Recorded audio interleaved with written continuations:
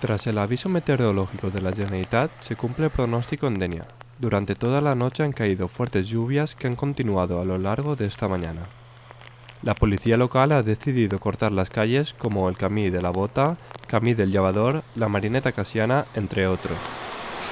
Como siempre, algunos conductores no han hecho caso a las señales de prohibición, viéndose afectados en graves consecuencias. Durante las 12 primeras horas de lluvia, la cantidad de agua acumulada ha superado los 100 litros por metro cuadrado. El Colegio de la Sara ha tenido que suspender las clases por filtraciones de agua en el centro. Los bomberos han tenido que intervenir en la calle Colón, concretamente en el antiguo horno de penal, donde han caído unos cascotes en la vía. El pronóstico para esta tarde sigue con riesgo importante de lluvia y viento.